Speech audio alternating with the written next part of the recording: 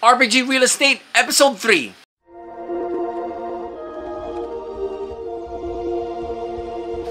So, the usual, two stories.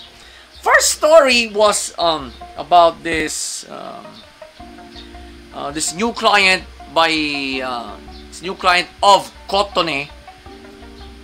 And uh, lahat ng mga property listings na in-offer niya, hindi kontento ang client na to. Then, they got a call from an old client, si Mr. Choran, who runs an apartment building and well, chinek nila kung bakit um bakit halos um halos buwan-buwan umaalis yung yung mga tenants niya dun sa ino-offer nilang yung sa ino-offer nilang kwarto. So they checked it. So they checked it themselves. Yun pala, ang kwartong ito, haunted. Now, Cotone's uh, new client got wind of this.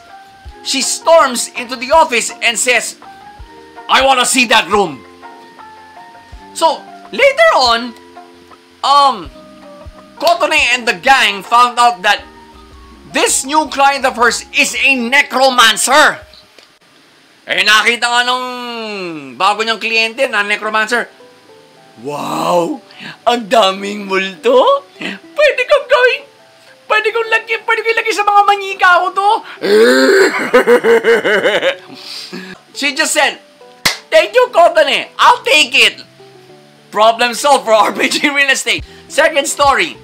Now, medyo, um, this is not uh, related to any any real any real estate stuff. Pero it was time for them to pay a tax known as a um, magic power levy.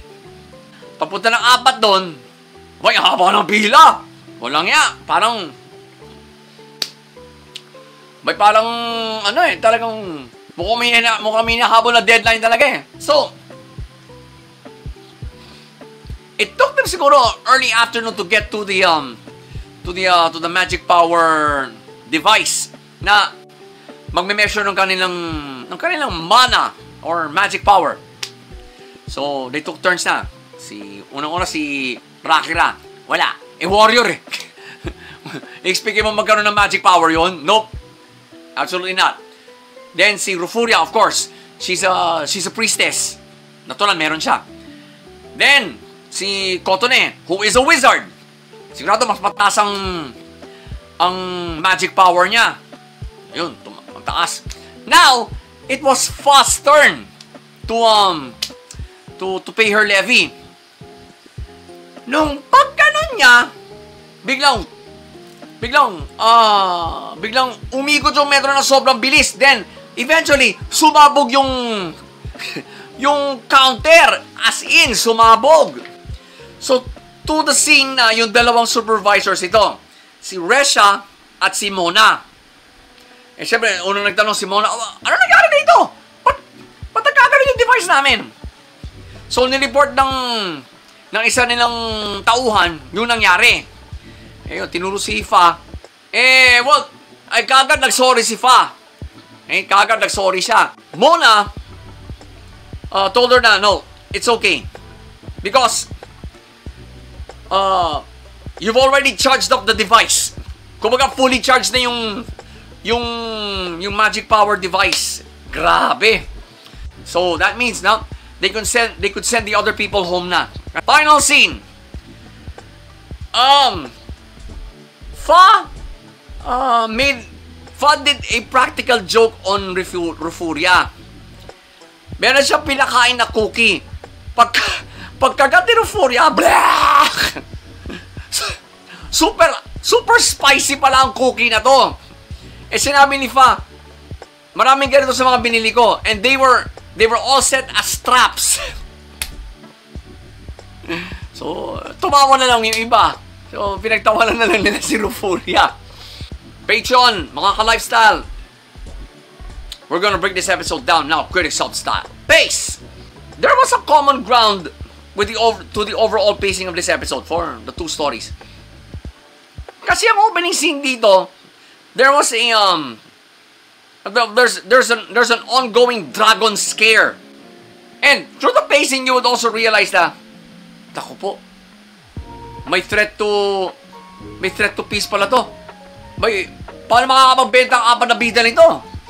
Kung meron ganitong trouble sa lugar nila. Eh, yun ang unang tumakbo sa isip ko ngayon. So,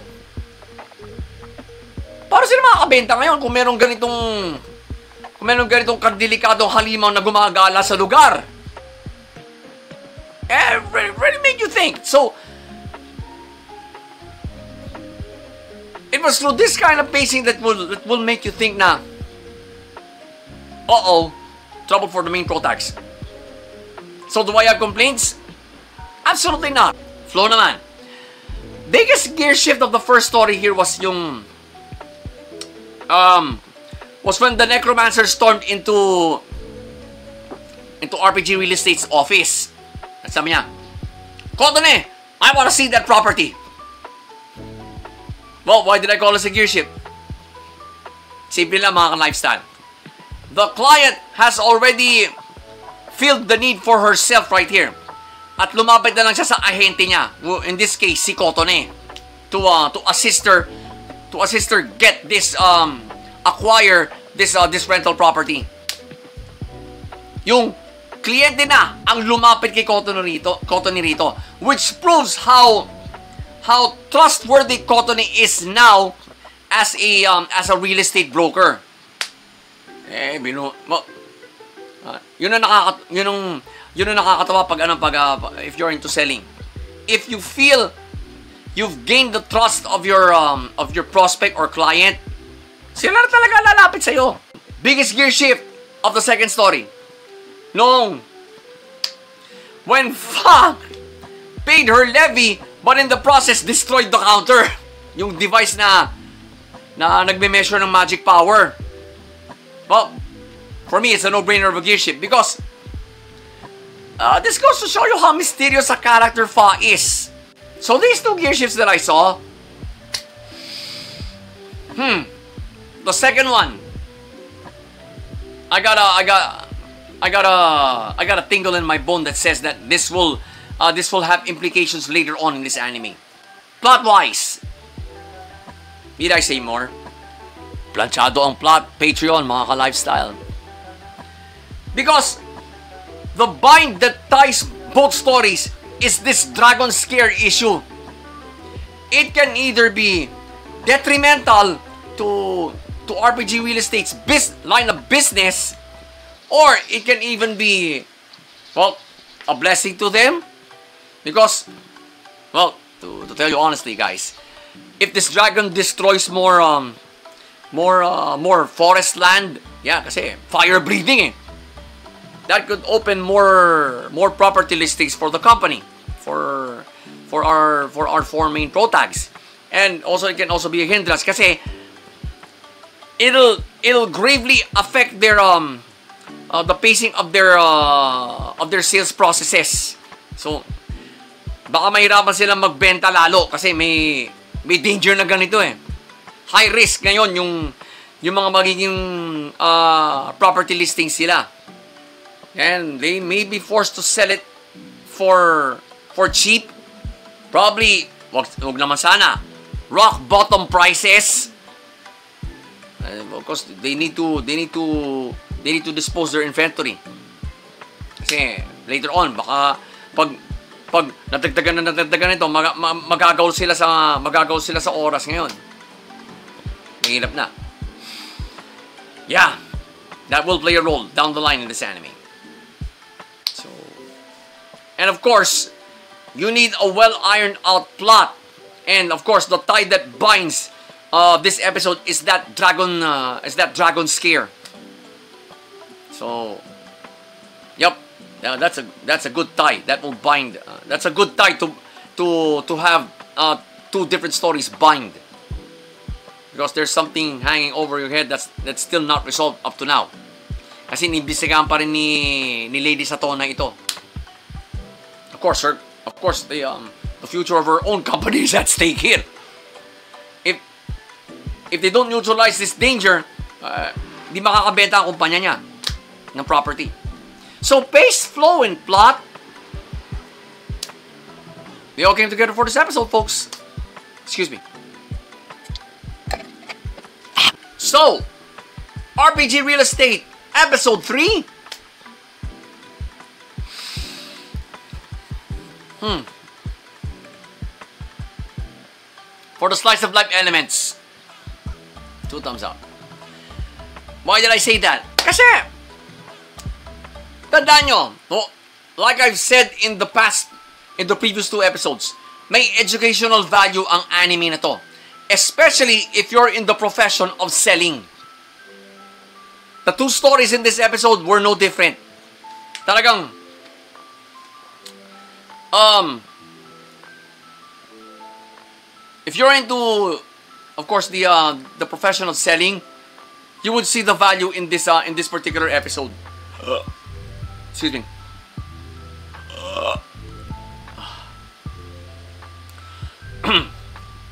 so yun. Especially this uh this dragon scare issue. Talagang the first thing that came to my mind was Oh boy. Magiging delikado ngayon ang lugar niya, nila. Pakalalong mahirapan magbenta ang mga bida. Kasi may trouble na ganito eh.